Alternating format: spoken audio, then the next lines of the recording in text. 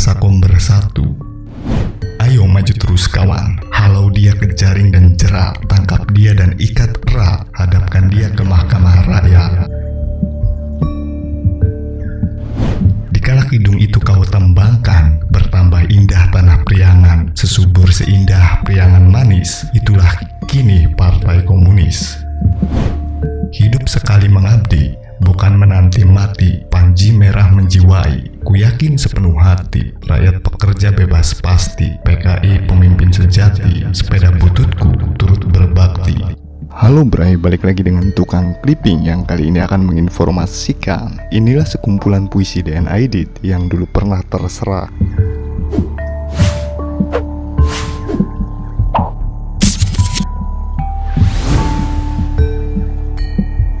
Dipa Nusantara Aidit atau DN Aidit mungkin Anda lebih mengenalnya sebagai tokoh Partai Komunis Indonesia dan dalam peristiwa G30 SPKI. Tapi dalam catatan sejarah yang lain, Aidit adalah seorang pencinta sastra. Ia pernah menelurkan banyak sajak dan puisi sebelum namanya menjadi dosa untuk disebut pada masa Orde Baru. Sebelum dilanjutkan, jangan lupa tekan tombol subscribe di channel Tukang Clipping.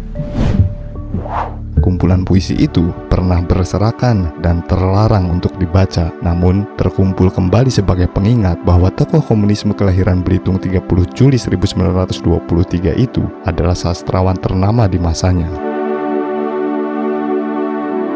Dalam buku Gugur Merah, Sehimpunan Puisi Lekra, Harian Rakyat 1950-1965 terbit tahun 2008 ada 9 puisi Aidit yang tercantum Beberapa di antaranya adalah sebagai berikut. Sepatu butut. Sepatu bututku tiap hari membantu. Cita mulia, kebebasan rakyat pekerja Semua derita ku terima dengan senyum gembira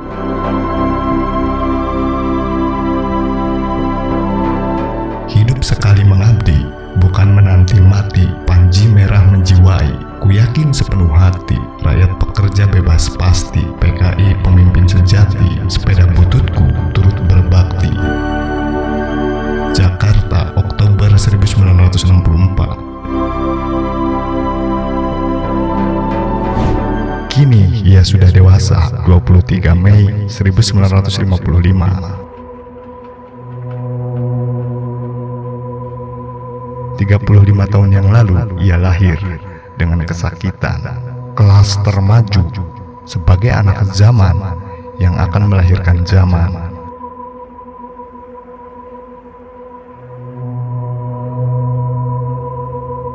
Ia tahan taufan dan tak lena karena sepoi. Ia menyusup di hati rakyat lebih dalam dari laut banda. Ia menghias hidup lebih indah dari sunting cempaka.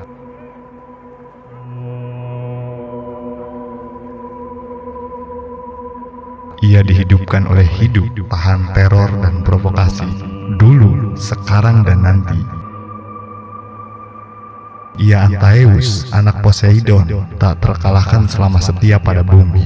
Ia anak zaman yang melahirkan zaman. Kini, ia telah dewasa.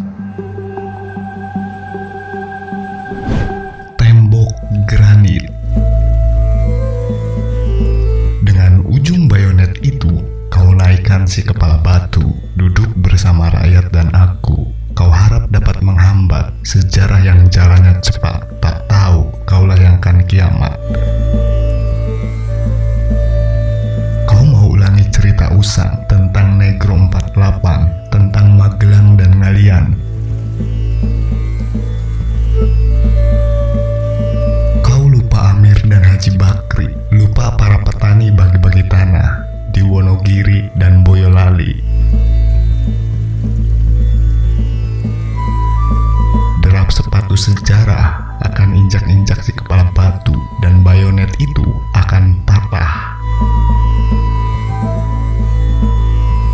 Tembok granit lebih keras dari tembok batu. Tembok granit rakyat bersatu. Jakarta, 15 September 1957.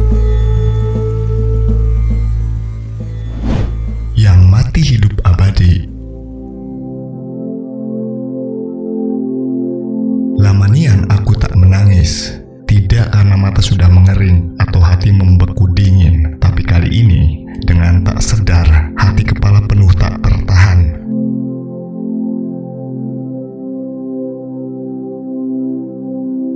Butir-butir air mata membasahi koran pagi. Orang hitam berhati putih itu dibunuh si putih berhati hitam.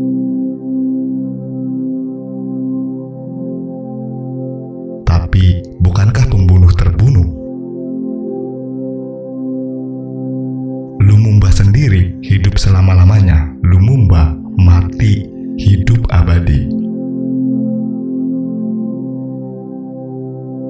Kini dunia tidak untuk si putih yang hitam, tapi untuk semua. Putih, kuning, sawo matang, hitam.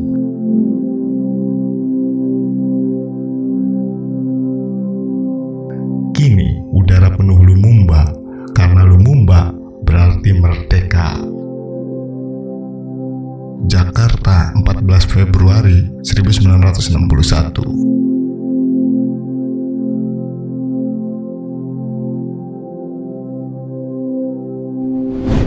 Raja naik mahkota kecil.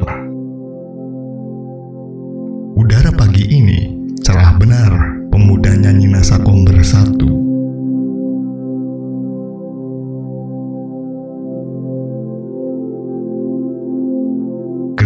Gadis remaja mendengar si Lalim naik tahta, tapi konon mahkotanya kecil.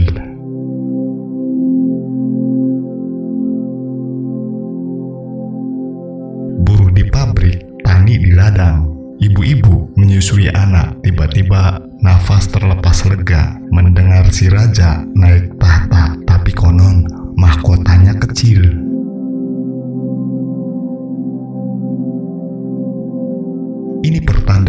Kita yang lapuk terpaksa turun, yang baru terus membaru. Bagi yang lama sudah maghrib, bagi yang baru mentari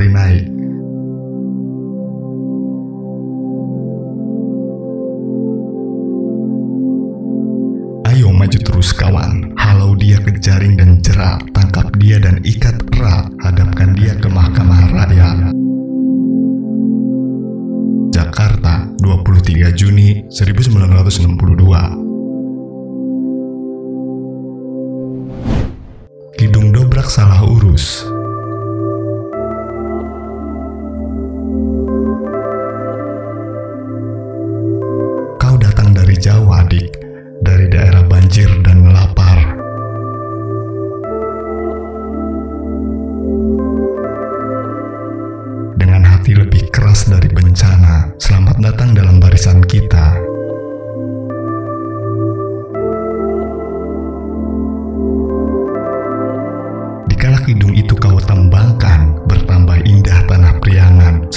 Seindah priangan manis, itulah kini Partai Komunis.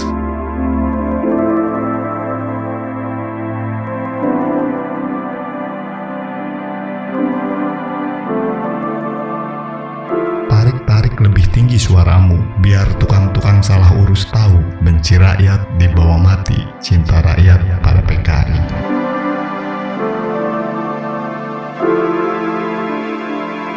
Teruskan, teruskan tembangmu, bikin rakyat bersatu padu, bikin priangan maju dan jaya, alam indah, rakyat bahagia.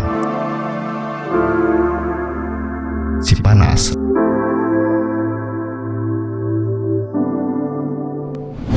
hati dibakar cinta.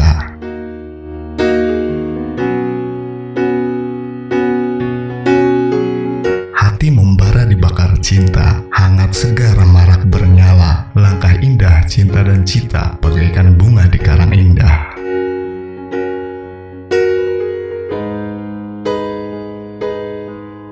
Biarkan, biarkan ia membara, membakar dan menyala, menghangatkan semua derita, menghangatkan setiap mesra.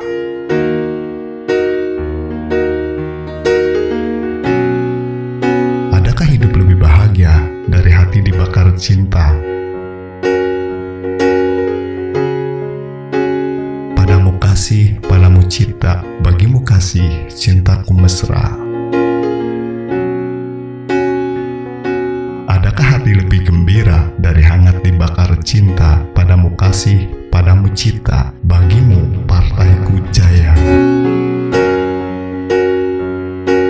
Jakarta, 2 Juli 1963 Demikianlah Bray kumpulan puisi DNA Edit yang dulu pernah terserak. Bagaimana pendapat kalian?